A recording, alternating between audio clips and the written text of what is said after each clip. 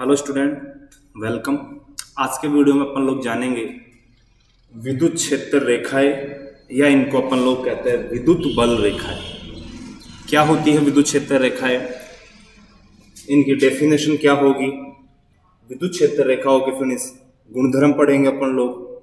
और इन विद्युत क्षेत्र रेखाओं की जो अवधारणा है, इनके बारे में जिसने सोचा, समझा, बताया, नाम है उनका माइकल फेराडे। तो क्या होती है विद्युत क्षेत्र रेखा? किन्हें कहते हैं? छोटा सा क्वेश्चन बनता है, या तो डेफिनेशन पूछेगा आप लोगों से, या इन विद्युत क्षेत्र रेखाओं के अपने नौ दस प्रॉपर्टीज़ दे रखे, गुणधर्म दे रखे, उनमें से कोई क्वेश्चन पूछा जाता। है लेकिन हर टॉपिक अच्छा ही है। ठीक है? तो यहाँ मैं आपसे पूछूँ कि जैसे अपन लोगों ने कल इलेक्ट्रिक फ़ील्ड पढ़ा विद्युत क्षेत्र पढ़ा। कोई भी आवेश अपने चारों ओर विद्युत क्षेत्र उत्पन्न करता है। ठीक है? लेकिन अपन लोग उस विद्युत क्षेत्र को कैसे देखें? कैसे उस विद्युत क्षेत्र को रिप्रेजेंट करें अपन लोग? उस विद्युत क्षेत्र का क्या डायग्राम होना चाहिए? ठीक है? जैसे मैंने कहा, बताओ इस बोर्ड पर कहाँ पर विद्युत क्षेत्र फैला हुआ है? तो उस विद्युत क्षेत्र का कोई ना कोई ऐसा डायग्राम बनना चाहिए, जिससे अपन लोग विद्युत क्षेत्र को प्रदर्शित कर सके कॉफ़ी और किताब के अंदर। तो सबसे पहले डेफिनेशन तो यही बना दी माइकल फेराडे ने कि विद्युत क्षेत्र को किसी भी जगह पर विद्युत क्षेत्र को प्रदर्शित करने के लिए अपन लोग चित्रात्मक रूप से, विद्युत क्षेत्र को चित्रात्मक रूप से, चित्र के रूप में प्रदर्शित करने के लिए अपन लोग कुछ रेखाएँ काम में लेते हैं, कुछ लाइन्स काम में लेते हैं। उन्हीं रेखाओं का नाम विद्युत क्षेत्र रेखा कहा गया। क्या है विद्युत क्षेत्र रेखाएँ तो पहली डेफिनेशन जो अपन एक्सपीरियंस के आधार पर इसको मान भी सकते हैं, क्या है? पहली डेफिनेशन कि किसी भी जगह पर विद्युत क्षेत्र को चित्र के रूप में प्रदर्शित करने के लिए अपन लोग कुछ रेखाएँ खींचते हैं। उन रेखाओं को अपन लोग कहते हैं विद्युत क्षेत्र रेखा।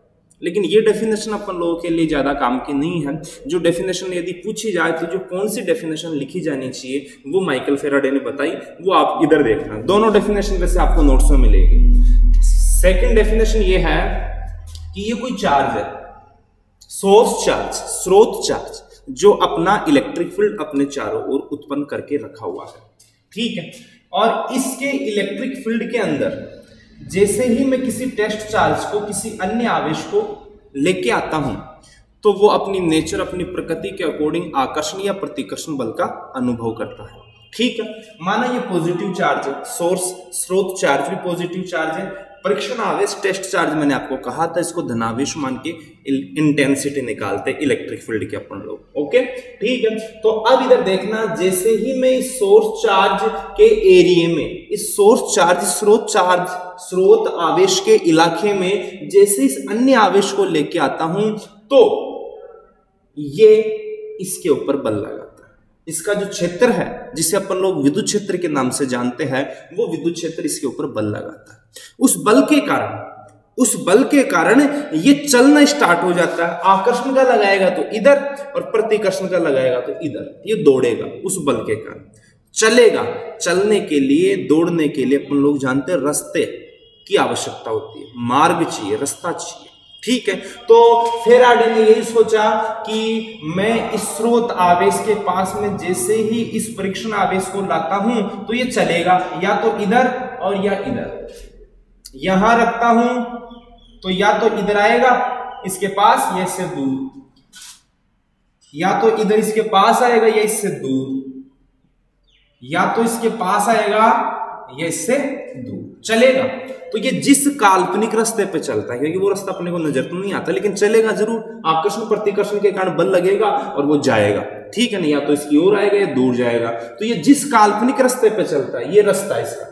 काल्पनिक। इसीलिए क्योंकि अपन इसको देख नहीं पा, पा रहे सेंस नहीं कर पा रहे इसको ठीक है? तो ये काल्पनिक रास्ता है। इस काल्पनिक रास्ते को बताने के लिए अपन लोग ये रेखा खींच रहे हैं। खींच रहे नहीं खींच रहे। जब स्रोत चार्ज प्लस में है तब तो ये से दूर जाता है। तब अपन इन रेखाओं पर ऐसे तीर का निशान ऐसे लगा देंगे। इस रास्ते पे जा रहे हैं। ठीक है? यदि अपन लोग इस स्रोत चार्ज को नेगेटिव लेते हैं नेगेटिव लेते हैं, और यदि परीक्षण आवेश को यहाँ रखूँ तो इस कंडीशन में परीक्षण आवेश इसके पास आता है आकर्षण के कारण। तो इस कंडीशन में अपन लोग इसके रास्ते, इसके मार्ग को इस प्रकार से अपन रेखाओं के द्वारा प्रदर्शित करते हैं। तो इधर देखना, ये स्रोत आवेश है, इसने अपना विद्युत क्षेत्र उत्पन्न करके रखा हुआ है। बस उस विद्युत क्षेत्र को प्रदर्शित करना अपन लोगों को। ठीक है, अब मैंने कहा, आप जैसे ही किसी टेस्ट चार्ज को इसके इलाके में लाके रखते हो तो उस टेस्ट चार्ज के ऊपर फोर्स लगता है आकर्षण या प्रतिकर्षण का, और उस बल के कारण ये या तो दूर जाता है या पास आता है। तो माइकल फेराडे ने यह सोचा कि ये जिस रास्ते से जाएगा, जिस रास्ते से आएगा, उस रास्ते को अपने एक लाइन से प्रदर्शित करेंगे। बस वही लाइन आप लोग विद्युत क्षेत्र को प्रदर्शित करने के लिए काम में ले लीजिए। ठीक है? तो प्लस से तो उन लाइनों की डायरेक्शन दूर कर दो और माइनस के लिए अंदर की ओर। तो किसी विद्युत क्षेत्र, किसी भी आवेश के विद्युत क्षेत्र को प्रदर्शित करने के लिए अपन लोग जो काल्पनिक रेखा है, और ये रेखा क्या है? आवेश का रास्ता है। काल्पनिक रास्ता है। ठीक है? तो जो काल्पनिक रेखाएँ अपन लोग काम में लेते हैं, बस उन्हीं काल्पनिक रेखाओं को अपन लोग विद्युत क्षेत्र रेखाएँ कहते हैं। ठीक है? तो ये विद्युत क्षेत्र रेखाओं की है डेफिनेशन सेकंड डेफिनेशन तो ये इस प्रकार से है कि किसी भी आवेश के द्वारा उत्पन्न विद्युत क्षेत्र को आप लोग जिन काल्पनिक रेखाओं से प्रदर्शित करते हो, बस उन्हीं काल्पनिक रेखाओं का नाम है विद्युत क्षेत्र रेखाएँ। और ये काल्पनिक रेखा किसके लिए खींची गई है? तो ये माना गया कि परीक्षण आवेश, टेस्ट चार्ज, इन रस्तों से होकर के गुजरता है। ये जो लाइनें हैं, ये लाइनें परीक्षण आवेश का रास्ता है, जो काल, जो कल्पना मात्र है, केवल कल्पना कर सकते हैं। तो आप लोगों को बेटा यहाँ दो डेफिनेशन याद रखनी है कि विद्युत क्षेत्र को किसी भी जगह पे प्रदर्शित करने के लिए, उसको चित्रात्मक रूप से प्रदर्शित करने के लिए अपन कुछ रेखाएँ काम में लेते हैं। उन रेखाओं को विद्युत क्षेत्र रेखा या विद्युत बल रेखाएँ कहते हैं। दूसरी डेफिनेशन है, जब भी किसी स्रोत आवेश के इलाके में मतलब विद्युत क्षेत्र में, अपन लोग किसी परीक्षण आवेश, किसी टेस्ट चार्ज को रखते हैं तो वो विद्युत क्षेत्र उस टेस्ट चार्ज पे बल लगाता है। उस बल के कारण वो टेस्ट चार्ज चलता है। या तो इधर आएगा, उसके पास आएगा दूर आएगा। चलने के लिए वो जिस रास्ते पे चलता है ना, जिस मार्ग को चुनता है, बस उसी मार्ग को अपने एक रेखा से प्रदर्शित करते हैं और उसी मार्ग को अपन जिस रेखा से प्रदर्शित कर रहे हैं, वही रेखा है विद्युत बल रेखा या विद्युत क्षेत्र रेखा। विद्युत बल रेखा इसलिए रखी कि बल के कारण वो रास्ते पे चल रहा है, परीक्षण आवेश। इसलिए उसको विद्युत बल रेखा कहती है। तो ये डेफिनेशन है। ठीक है बेटा? अब इनके गुणधर्म इंपॉर्टेंट है। विद्युत क्षेत्र रेखाओं के गुणधर्म। तो नौ दस इनके गुणधर्म है, वो आप लोगों को सुनते जाना है और मैं नोट्स में आप लोगों को भेज दूँगा। और बेटा, आप लोगों के पास, सबके पास बुक होगी एसपी होगी। बेटा, आप न्यूमेरिकल्स काफ़ी सारे न्यूमेरिकल्स उनमें पड़े हैं। आप लोग उनको बेटा निकालो, नहीं आए तो तुरंत मेरे व्हाट्सएप नंबर पर आप लोग वो प्रॉब्लम शेयर करो। मैं तुरंत आपको आंसर उनके बताऊँगा। ठीक है बेटा? ज़रूर किया आपको अब देखो, विद्युत क्षेत्र रेखाओं के जो गुणधर्म है, उनको समझना आप लोग। सबसे पहला गुणधर्म है कि विद्युत क्षेत्र रेखा एक काल्पनिक है कि किसे कह रहे हो आप लोग विद्युत क्षेत्र रेखा? तो आवेश जिस काल्पनिक रास्ते पे चलता है, बस वो काल्पनिक रास्ता ही विद्युत क्षेत्र रेखा है। तो इसका मतलब विद्युत क्षेत्र रेखा काल्पनिक है। लेकिन लेकिन विद्युत क्षेत्र रेखा काल्पनिक है, लेकिन ये वास्तविक विद्युत क्षेत्र को प्रदर्शित करती है। मतलब वहाँ विद्युत क्षेत्र काल्पनिक नहीं है, वहाँ वास्तव में विद्युत क्षेत्र है। तभी तो किसी अन्य परीक्षण आवेश पे बल लगता है। तो ये बात याद रखना कि विद्युत क्षेत्र रेखा ज़रूर काल्पनिक है, लेकिन वो जिस जिस क्षेत्र को प्रदर्शित कर रही, वो क्षेत्र वहाँ काल्पनिक नहीं है, वहाँ रियल में वो क्षेत्र है। ठीक है? तभी तो किसी अन्य आवेश को जब मैं वहाँ लाता हूँ तो उसके ऊपर आकर्षण या प्रतिकर्षण का क्या लगता है? बल। तो पहला गुणधर्म, याद रखना आप लोगों को, विद्युत बल रेखा या शुद्ध नाम है इसका विद्युत क्षेत्र रेखा। अधिकतर रियल नाम यही काम में लेते हैं। तो फेराडे के अनुसार विद्युत क्षेत्र रेखा खुद काल्पनिक है, लेकिन ये जहाँ अपन लोग विद्युत क्षेत्र रेखाएँ बनाते हैं, वहाँ ये वास्तविक विद्युत क्षेत्र को प्रदर्शित करती है। सेकंड गुणधर्म गुणधर्म नंबर फ़र्स्ट हो गया। सेकंड गुणधर्म सुनना बेटा क्या है? सेकंड है कि विद्युत क्षेत्र रेखाएँ प्लस से तो स्टार्ट होती है और माइनस पे समाप्त होती है। अभी मैंने कहा था, ये प्लस है। इस प्लस से तो आप परीक्षण आवेश लाओगे, जब प्लस के विद्युत क्षेत्र में परीक्षण आवेश लाओगे तो प्लस के विद्युत क्षेत्र में परीक्षण आवेश को लाने पर वो दूर भागता है। तो मतलब उसका रास्ता ऐसे दूर होगा तो विद्युत क्षेत्र रेखा दूर होगी। तो इसका मतलब विद्युत क्षेत्र रेखाएँ प्लस से तो स्टार्ट होती है, दूर जाती है। और माइनस पे एंड होती है। जब आप माइनस के विद्युत क्षेत्र को प्रदर्शित करोगे, माइनस के विद्युत क्षेत्र में परीक्षण आवेश को लाओगे तो उस कंडीशन में वो परीक्षण आवेश उस माइनस के विद्युत क्षेत्र की ओर दौड़ा चला आएगा। तो इस कंडीशन में आपको याद रखना है, विद्युत क्षेत्र रेखाएँ प्लस से स्टार्ट होती है और माइनस में एंड होती है। तो यदि मैं प्लस और माइनस दोनों एक साथ ले लू प्लस और माइनस दोनों चार्ज तो ये माना जाता है कि विद्युत क्षेत्र रेखा है प्लस से स्टार्ट होकर माइनस पे खत्म होती है। इलेक्ट्रिक फ़ील्ड प्लस से स्टार्ट, प्रारंभ होगा और माइनस पे समाप्त हो जाएगा। ठीक है, यदि दोनों हो तो। लेकिन यदि सिंगल हो, सिंगल केवल प्लस ही हो या केवल माइनस ही हो तो क्या माना जाता है? तब ऐसे माना जाता है कि विद्युत क्षेत्र रेखाएँ प्लस के लिए क्या माना जाता है? विद्युत क्षेत्र रेखाएँ अनंत पे जाके खत्म हो रही है। अनंत पे। ये इससे निकल तो गई प्लस से, लेकिन अनंत पे जाके ये रास्ता खत्म होगा। और माइनस के लिए क्या माना जाता है कि ये रास्ता कहाँ से आ रहा है? अनंत से आ रहा है। अब बेटा मैं आपको बता दूँ, अनंत किसे कहते हैं अपनी फिजिक्स में। याद रखना, अपनी आँख जहाँ तक देखती है, वो अनंत से पहले है और जहाँ देखना बंद कर देती है, वहाँ से अनंत स्टार्ट हो जाता है। ठीक है? अपन नहीं, अपने जो भी सेंसर लगे हुए हैं पूरी बॉडी के अंदर, वो सेंसर जहाँ तक सेंस कर सकते हैं, वहाँ तक तो अनंत से पहले है और जैसे ही सेंसर सेंस करना, किसी चीज़ को अनुभव करना बंद कर देते हैं, वहाँ से अनंत स्टार्ट हो जाता है। जैसे मैं आपको बताऊँ कि मैं इस बोर्ड के यूँ चिपक गया और चिपक के ऊपर की ओर देखता हूँ मैं अपनी गर्दन को नहीं हिलाऊँगा, आँखों से ऊपर की ओर देखूँगा तो मेरे को लास्ट ये दीवार की थोड़ी सी ऊंचाई दिखाई दे रही है। इससे आगे मेरे को दिखाई नहीं दे रहा तो मैं अब यहाँ क्या कह सकता हूँ कि इससे आगे मेरे लिए अनंत स्टार्ट हो गया। क्या स्टार्ट हो गया? अनंत स्टार्ट हो गया।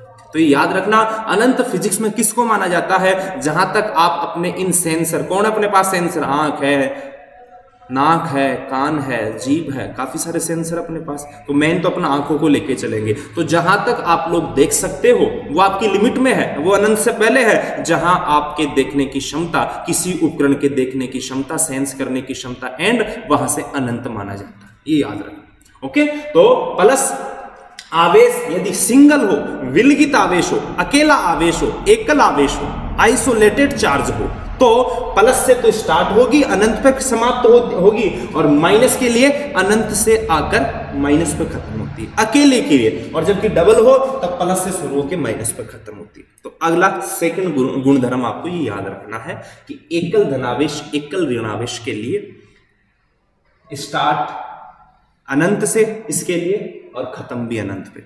और यदि दोनों हो तो प्लस से स्टार्ट होके माइनस पे खत्म।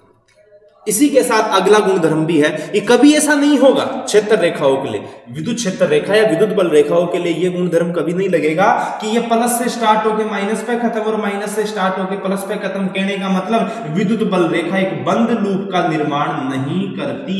एक बंद पथ का निर्माण नहीं करती। ये याद रखना। विद्युत बल रेखा ऐसे नहीं चलती। प्लस से माइनस माइनस से प्लस प्लस से माइनस माइनस से प्लस कभी भी बंद लूप का निर्माण नहीं करती, बंद पथ नहीं बनाती। नंबर थ्री हो गया गुणधर्म तो तीसरा गुणधर्म आपका ये हो गया कि ये कभी बंद डूब का निर्माण नहीं करती। चौथा गुणधर्म सुनना।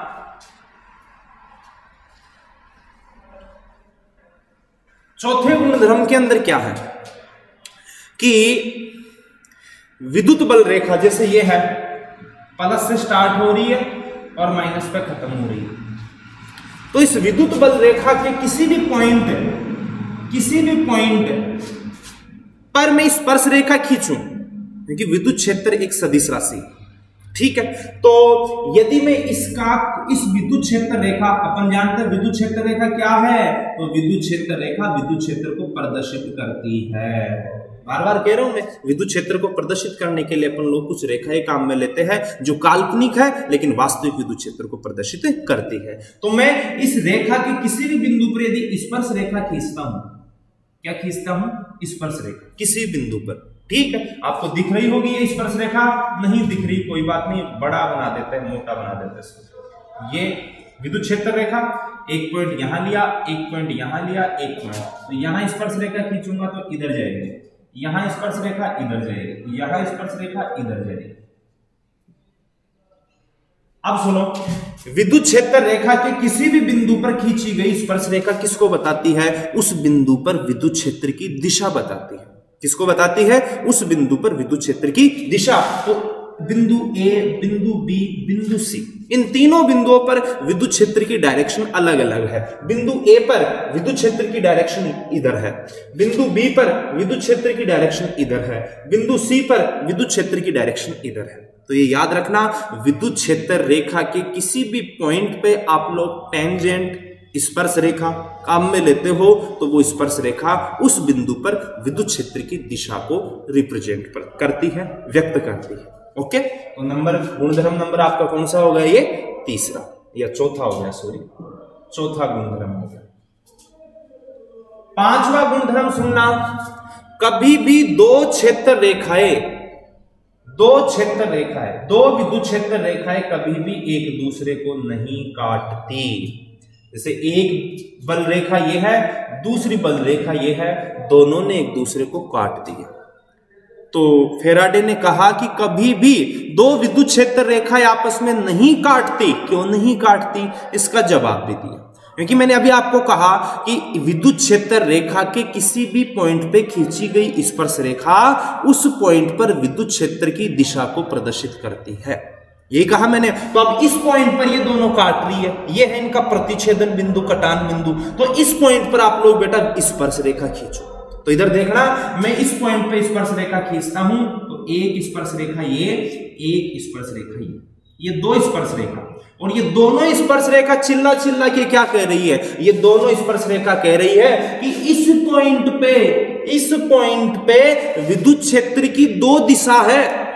इस पॉइंट पे विद्युत क्षेत्र दो डायरेक्शन में जा रहा है। तो ऐसा कभी नहीं हो सकता बेटा। आप लोग किसी क्षण, किसी समय, किसी जगह पे एक ही डायरेक्शन में चल सकते हो। आप या तो इधर चलोगे, या आप लोग इधर चलोगे, या आप लोग इधर चलोगे। कभी ऐसा नहीं होगा, आप इधर भी जा रहे हो और आप इधर भी जा रहे हो और आप इधर भी जा रहे हो, आप इधर भी जा रहे हो। ठीक है, इधर तो बाद में चलेंगे। ठीक है तो कभी भी ऐसा नहीं होगा कि आप लोग एक ही समय पर, एक ही जगह से दो डायरेक्शन में गति करे। ना, ऐसा नहीं होगा। कभी भी कोई पार्टिकल एक ही समय पर एक ही जगह से दो डायरेक्शन में गति नहीं करेगा। ठीक है? वो एक ही डायरेक्शन में जा सकता है एक समय पे। तो इसने ऐसे कहा कि इस पॉइंट पर विद्युत क्षेत्र दो दिशाओं में है, इधर भी है विद्युत क्षेत्र, इधर भी है। कभी ऐसा पॉसिबल नहीं हो सकता। इसीलिए फेराडे ने कहा कि कभी भी दो क्षेत्र रेखाएँ आपस में नहीं काटती। याद रख ठीक है? अगला गुणधर्म, पाँच हो गए। अगला गुणधर्म सुनना। क्या कहा फेराडे ने? फेराडे ने कहा कि यदि आपकी क्षेत्र रेखा बिल्कुल पास पास में है, नज़दीक है। यदि आपकी क्षेत्र रेखाएँ बिल्कुल पास पास में है, नज़दीक है तो इसका मतलब क्या है? इसका मतलब है कि वहाँ पर विद्युत क्षेत्र की मात्रा ज़्यादा है। और जहाँ दूर दूर है, जहाँ दूर दूर है, वहाँ विद्युत क्षेत्र रेखाओं की, वो विद्युत क्षेत्र की तीव्रता कम है। अब मैंने आप लोगों को ये विद्युत क्षेत्र रेखाओं का एक डायग्राम दिया। कि ये रेखाएँ किसी विद्युत क्षेत्र को प्रदर्शित कर रही है, किसी विद्युत क्षेत्र को प्रदर्शित कर रही है। और मैंने चार आपको ring the A B C और डी चारों रिंग सेम क्षेत्रफल की है सेम एरिया है इनका। लेकिन आप लोगों ने देखा, इस रिंग में से तो बहुत सारी रेखाएँ गुजर रही है। इस रिंग इस रिंग में से दो ही गुजरी, इसमें से एक ही गुजर रही है इस रिंग में से, और इसमें से एक भी नहीं गुजरी। नहीं गुजरी इसमें से इसमें से एक भी रेखा नहीं गुजरी। ठीक है। और मैंने अभी कहा आप लोगों को, ये रेखा किसको प्रदर्शित करती है? ये रेखा इलेक्ट्रिक फ़ील्ड को प्रदर्शित कर रही है। प्रदर्शित कर रही है। इसमें से बहुत ज़्यादा रेखाएँ गुजर रही है। मतलब इतने से यहाँ पर इलेक्ट्रिक फ़ील्ड की इंटेंसिटी इलेक्ट्रिक फ़ील्ड ज़्यादा पावरफुल है। यहाँ पर इलेक्ट्रिक फ़ील्ड लाइन विद्युत क्षेत्र रेखाओं की संख्या दो ही है। मतलब यहाँ पर विद्युत क्षेत्र कमज़ोर है और यहाँ और भी कमज़ोर है और यहाँ बहुत कमज़ोर है। तो इसका मतलब क्या है? फेराडे ने कहा जहाँ पर विद्युत क्षेत्र रेखाएँ विद्युत बल रेखाएँ पास पास में है, वहाँ इलेक्ट्रिक फ़ील्ड की इंटेंसिटी विद्युत क्षेत्र ज़्यादा पावरफुल होता है, विद्युत क्षेत्र की तीव्रता बहुत ज़्यादा होती है, और जहाँ बल रेखाएँ दूर दूर हो, विरल हो वहाँ पर दुर्बल विद्युत क्षेत्र पाया जाता है, कमज़ोर विद्युत क्षेत्र पाया जाता है। तो अगला गुणधर्म आप याद रखना, जहाँ विद्युत क्षेत्र रेखाएँ पास पास में सघन हो, वहाँ प्रबल विद्युत क्षेत्र पाया जाता है, और जहाँ विद्युत क्षेत्र रेखाएँ दूर दूर हो, वहाँ दुर्बल, कमज़ोर विद्युत क्षेत्र पाया जाता है। ठीक है बेटा? तो ये गुणधर्म हो गया आपका छह। गुणधर्म नंबर सात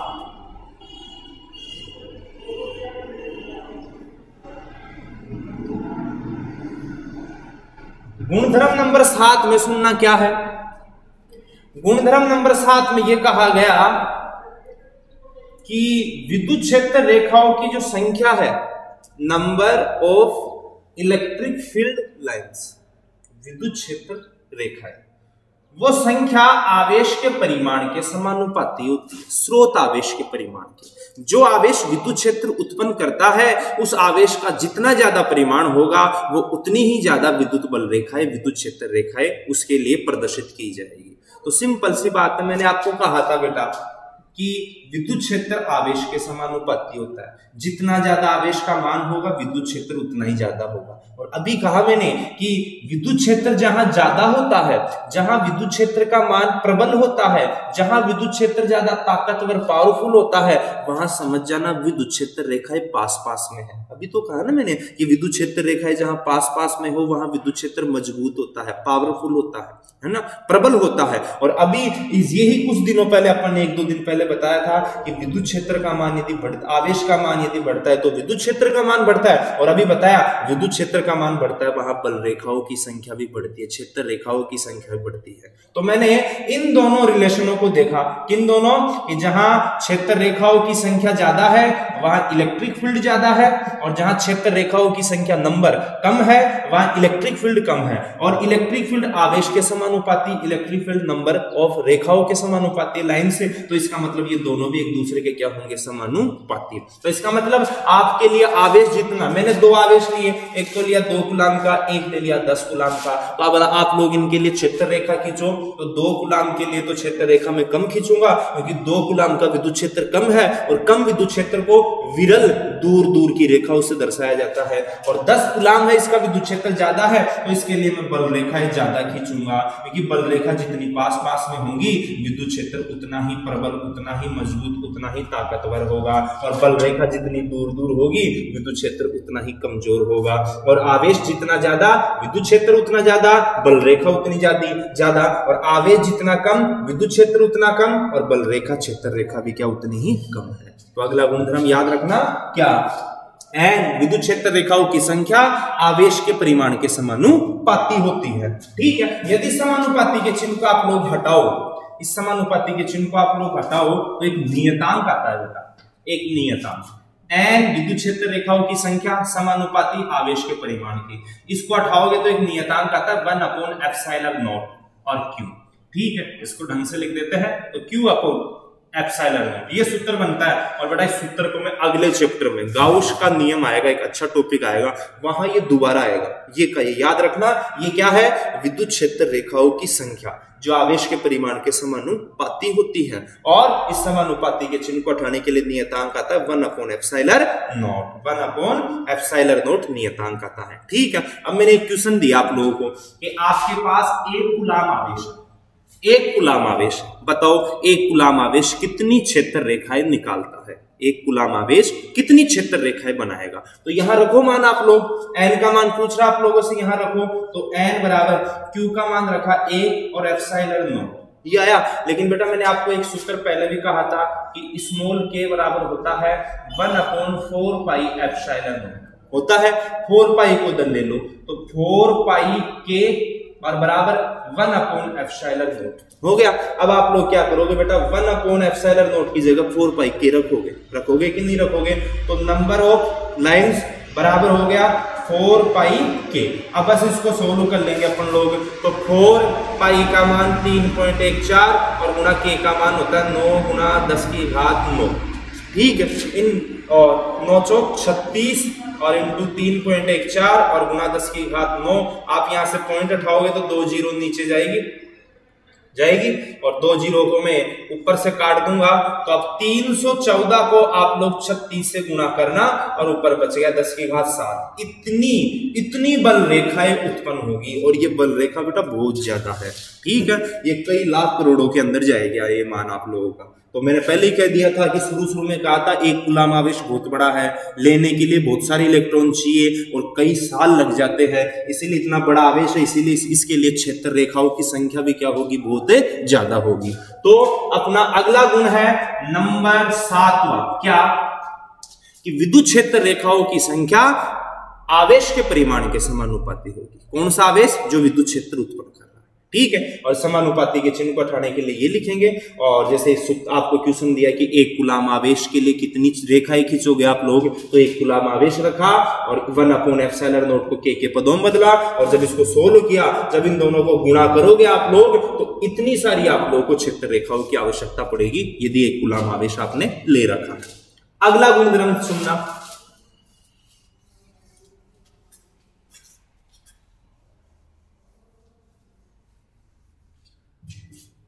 आठवें नंबर का गुणधर्म देखना क्या है? अगला गुणधर्म है कि ये जो विद्युत क्षेत्र रेखाएँ है, यदि आप लोग इन विद्युत क्षेत्र रेखाओं की दिशा समान रखो और इनके बीच की दूरी समान रखो, ठीक है?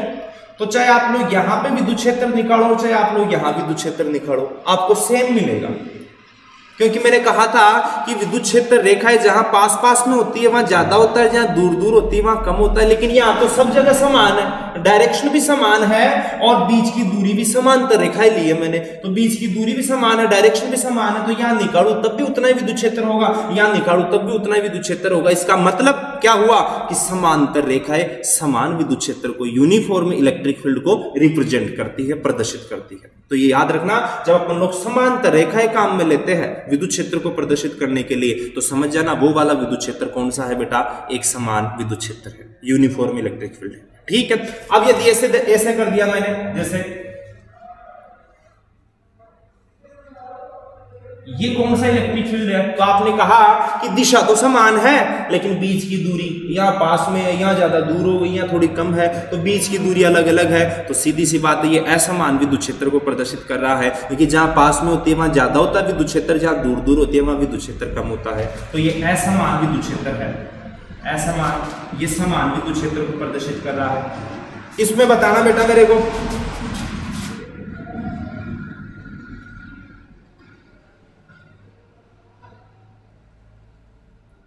इसमें बताओ। और मैं ऐसा कह रहा हूँ, बीच की दूरी बराबर है, बीच की दूरी बराबर है। बताओ, ये समान विद्युत क्षेत्र को प्रदर्शित करेगा कि असमान विद्युत क्षेत्र को? तो बेटा आप लोग सोचोगे, लेकिन मैं ही बता देता हूँ, चलो इधर देखना आप लोग, कि इसमें बीच की दूरी तो बराबर है।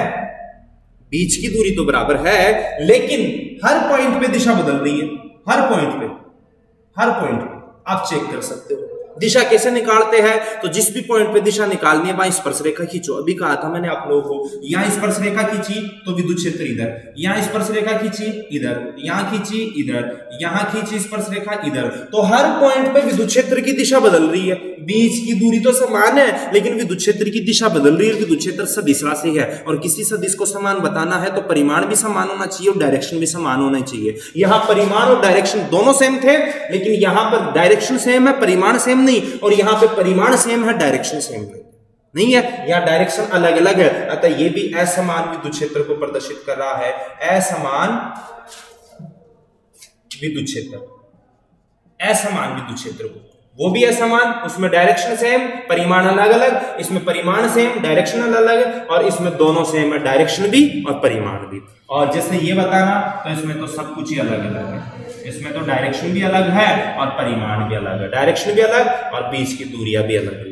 तो ये भी असमान, ये भी असमान, ये भी असमान, ये समान। तो अगला गुणधर्म याद रखना है, यदि विद्युत क्षेत्र रेखाओं के बीच की दूरी समान हो और उनकी दिशा समान हो तो वो एक समान विद्युत क्षेत्र को प्रदर्शित करती है। और यदि इन दोनों में से बीच की दूरी मतलब परिमाण और डायरेक्शन, इन दोनों में से यदि एक भी अलग है या दोनों अलग है तो वो असमान विद्युत क्षेत्र को प्रदर्शित करती है। ठीक है? तो ये अगला गुणधर्म हो गया आप लोगों का। तो आगे से याद रखना, समान विद्युत क्षेत्र को प्रदर्शित करने के लिए अपन लोग समांतर रेखा काम मिलेंगे ठीक है? अब इससे अगला गुणधर्म देखना। नंबर दो। नवे नंबर का गुणधर्म देखना। नब्बे नंबर का गुणधर्म बेटा, अभी यहाँ मैं आपको बोल के बता रहा हूँ। अगले तीसरे चैप्टर के अंदर वहाँ, इसकी मैं डिटेल आपको वहाँ ज़रूर समझाऊँगा, या दूसरे चैप्टर में भी आ जाएगा वैसे तो। वो ये है कि यदि कोई चालक है, यदि कोई धातु है तो उस धातु, उस चालक की सतह पर यदि आवेश दे रखा है तो आवेश जहाँ वहाँ विद्युत क्षेत्र, जहाँ विद्युत क्षेत्र, वहाँ विद्युत क्षेत्र रेखा है। कन्फर्म है? ठीक है। तो किसी चालक को आवेश दोगे, वो आवेश उसकी सतह पर रहता है, वो विद्युत क्षेत्र उत्पन्न करेगा, उसके लिए आप लोग विद्युत क्षेत्र रेखाएँ प्रदर्शित करोगे तो वो विद्युत क्षेत्र रेखाएँ हर चालक की सतह पर लंबवत होती है, लंबवत। फ़िलहाल इसको यहाँ आप लोग याद रख सकते हो, जस्ट कुछ दिनों बाद में, एक दो दिन बाद में अपना अगला चैप्टर स्टार्ट होने वाला है। वहाँ इसकी मैं डिटेल से एक्सप्लेन करूँगा बेटा। ठीक है? क्या टॉपिक याद रखना? किसी धातु की सतह से आने गुजरने वाली या आने वाली? धातु की सतह पर आने वाली या धातु की सतह से गुजरने वाली? ठीक है ना? बल रेखाएँ, क्षेत्र रेखाएँ हमेशा लंबवत होती है उसकी सतह के साथ। ये याद रखना। ठीक है बेटा? ये गुणधर्म आपको याद रखना है। कौन सा? किसी चालक या किसी धातु की सतह पर आने वाली या उससे गुजरने वाली क्षेत्र रेखा हमेशा उसके साथ 90 डिग्री लंबत होती है। ठीक है बेटा? अगला गुण, और ये आप लोगों का बेटा लास्ट गुण है। क्या है? नंबर दस। यदि विद्युत क्षेत्र रेखाएँ, जैसे ये प्लस है, ये प्लस है। मैं बता रहा हूँ, पहले आप लोगों को प्लस प्लस दोनों के बीच की दूरी ये है। यदि विद्युत क्षेत्र रेखाएँ इस दूरी के अनुदिश मुड़ रही है, ये इस दूरी के सॉरी अनुदिश नहीं, इस दूरी के लंबवत जा रही है, लंबवत, ऐसे ऐसे ऐसे ऐसे लंबवत जा रही है। ऐसे जाए, और सेकंड में यह है यदि इस लंबाई के अनुदिश अनुदिश मतलब इसी की दिशा में मुड़ रही है तो ये किसी चीज़ को बताती है। किस चीज़ को बताती है, वो अभी समझा देता हूँ मैं आपको। यदि लंबत जा रही है, तब अलग बात बताती है, और लंबत नहीं जा रही तो ये अलग बात बोल रही है। क्या? यदि इस लंबाई के अनुदिश मुड़ रही है तो कुछ अलग है यहाँ पे देखना। और यदि लंबाई के लंब जा रही तो कुछ अलग है।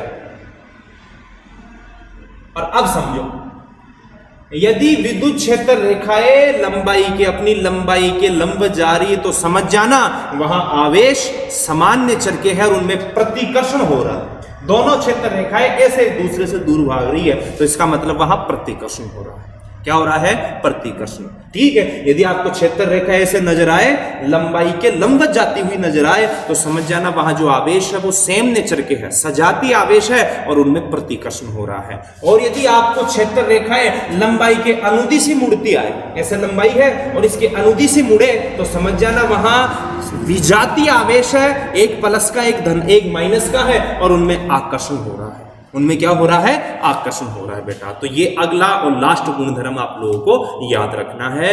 यदि क्षेत्र रेखाएँ अपनी लंबाई के अनुदिश मुड़ रही है तो विजातीय आवेशों में आकर्षण को प्रदर्शित करती है। और यदि क्षेत्र रेखाएँ अपनी लंबाई के लंबत जा रही है तो सजातीय आवेशों में प्रतिकर्षण को व्यक्त करती है। तो ये विद्युत क्षेत्र रेखाएँ और विद्युत क्षेत्र रेखाओं के गुणधर्म थे बेटा। ठीक है, एक बार मैं रिवाइज कर रहा हूँ, सारा ध्यान से सुनना। किसे कहते हो बेटा? आप लोग विद्युत क्षेत्र रेखाएँ तो विद्युत क्षेत्र किसी भी जगह पे, किसी भी स्थान पर, किसी भी बिंदु पर विद्युत क्षेत्र को प्रदर्शित करने के लिए अपन लोग जिन रेखाओं का, चित्रात्मक रूप से उसको प्रदर्शित करने के लिए अपन लोग जो रेखाएँ खींचते हैं, उन्हीं रेखाओं को आप लोग विद्युत क्षेत्र रेखाएँ, विद्युत बल रेखाएँ कहते हो। फ़र्स्ट डेफिनेशन आप लोगों की। सेकेंड डेफिनेशन क्या है? कि विद्युत क्षेत्र में परीक्षण आवेश, एकांक धनावेश जिसको अपन लोग कहते हैं, वो एकांक धनावेश, वो परीक्षण आवेश है। बल के कारण जिस काल्पनिक रास्ते पे चलता है, बस वही काल्पनिक रास्ता विद्युत क्षेत्र रेखा कहलाती है। अब इनके गुणधर्म क्या है? विद्युत क्षेत्र रेखा है, रियल में काल्पनिक है, कल्पना मात्र है, अवधारणा है एक फेराडे की, लेकिन ये वास्तव में उस जगह पर वास्तविक विद्युत क्षेत्र को प्रदर्शित करती है। ठीक है? और सेकंड गुणधर्म क्या बताया मैंने आप लोगों को? कि विद्युत क्षेत्र रेखाएँ प्लस से आरंभ होती है और माइनस पे समाप्त होती है। यदि एकल धनावेश है तो उसके लिए अनंत पे जाके खत्म होगी, और यदि एकल ऋणावेश है तो उसके लिए अनंत से आती हुई अपन लोग मानते हैं। ठीक है? विद्युत क्षेत्र रेखाएँ कभी भी बंद लूप का निर्माण नहीं करती, ऐसा कभी नहीं होता। प्लस से माइनस फिर माइनस से प्लस ऐसा नहीं होता। विद्युत क्षेत्र रेखा के किसी भी बिंदु पर खींची गई स्पर्श रेखा किसको बताती है? उस बिंदु पर विद्युत क्षेत्र की दिशा को प्रदर्शित करती है। ठीक है, दो विद्युत क्षेत्र रेखाएँ कभी भी आपस में एक दूसरे को नहीं काटती। क्यों नहीं काटती? यदि मान लिया जाए कि वो किसी बिंदु पे काट रही है तो उस बिंदु पे अपन लोगों को दो स्पर्श रेखा मिलती है। इसका मतलब उस बिंदु पे विद्युत क्षेत्र की दो डायरेक्शन है और कभी भी ऐसा पॉसिबल नहीं होता कि कोई भी एक ही समय पे एक ही जगह से दो डायरेक्शन में जा सके। ठीक है? अगला गुणधर्म मैंने आप लोगों को बताया कि विद्युत क्षेत्र रेखाएँ जहाँ पास पास में होती है, सघन होती है, वहाँ प्रबल विद्युत क्षेत्र को प्रदर्शित करती है, वहाँ का विद्युत क्षेत्र मज़बूत होता है पावरफुल होता है, वहाँ विद्युत क्षेत्र की इंटेंसिटी तीव्रता ज़्यादा होती है। जहाँ विद्युत क्षेत्र रेखाएँ दूर दूर होती है, विरल होता है ठीक है, विरल होती है, वहाँ दुर्बल विद्युत क्षेत्र को प्रदर्शित करती है। इससे आगे मैंने आप लोगों को बताया, यदि वो विद्युत क्षेत्र रेखाओं की जो संख्या है, कि कितनी विद्युत क्षेत्र रेखा किसी आवेश के लिए खींची जाएगी तो वो संख्या आवेश के परिमाण पर निर्भर करती है और समानुपाती रूप से निर्भर करती है। उस समानुपाती के चिन्ह को हटाया तो वन अपॉन एफसाइलर नोट आता है। ये का ये फॉर्मूला मैं आपको अगले, जस्ट अगले चैप्टर में बताऊँगा। बहुत बड़ा नियम है वो, ठीक है। इससे आगे मैंने बताया कि यदि विद्युत क्षेत्र रेखा प्रदर्शित करने के लिए आप लोग समांतर रेखा काम में ले रहे हो सेम डायरेक्शन में काम में ले रहे हो तो वो एक समान विद्युत क्षेत्र को यूनिफॉर्म इलेक्ट्रिक फ़ील्ड को रिप्रेजेंट करता है। और यदि आप लोग जो विद्युत क्षेत्र को प्रदर्शित कर रहे हो, उसके लिए आप लोग बीच की दूरी बदल रहे हो डायरेक्शन बदल रहे हो तो वो असमान विद्युत क्षेत्र को प्रदर्शित करता है। और मैंने लास्ट में आप लोगों को क्या कहा? इस अच्छा इससे पहले एक और रह गया। चालकों के लिए विद्युत क्षेत्र रेखा हमेशा हमेशा उनके पृष्ठ के लंबत ही आती है और उनके पृष्ठ के लंबत ही जाती है। और लास्ट में आपको कहा मैंने, ये गुणधर्म की लंबाई के अनुदिश जा रही है तो समझ जाना विजातीय आवेशों में आकर्षण हो रहा है। लंबाई के लंब जा रही है तो समझ जाना, सजातीय आवेशों में प्रतिकर्षण हो रहा है। तो बेटा, ये अपना था विद्युत क्षेत्र विद्युत क्षेत्र की तीव्रता और विद्युत क्षेत्र रेखाएँ ठीक है? और मैं फिर से आपको कह रहा हूँ बेटा कि जो न्यू आपके पास यदि बुक है तो अच्छी बात नहीं है। तो आप लोग बेटा कोशिश करो कहीं से इधर उधर जो आपके स्टूडेंट्स ट्वेल्थ में थे, आपके जो बड़े सीनियर आपसे, जिन्होंने एग्ज़ाम दे ली, उनसे आप रिक्वेस्ट करके बेटा मंगवा लो कैसे भी। ठीक है, क्योंकि एक महीने का टाइम अभी हो रहा है तो एक महीने में अपना कम से कम दो तीन चैप्टर होंगे। और उनके न्यूमेरिकल आप साथ साथ करते जाओ साथ साथ नोट्स भी लिखते जाओ, याद भी करते जाओ क्लियर करते जाओ। और बेटा साथ में हर वीडियो को लाइक ज़रूर किया करो, आगे से आगे शेयर ज़रूर किया करो आप लोग। और बेटा कमेंट बॉक्स में जो मैं आपसे पूछता हूँ, उसका आंसर ज़रूर भेजा करो। और जो कमी रह जाती है, आपको कुछ क्वेश्चन पूछने हैं तो आपके जो ग्रुप बना रखे हैं, मेरे जो व्हाट्सएप नंबर आप लोगों को दिए थे मैंने eight five six two zero five four two five two उससे आप लोग मेरे को ज़रूर पूछा करो। ठीक है? ओके बेटा थैंक्स मिलते हैं अगले वीडियो में।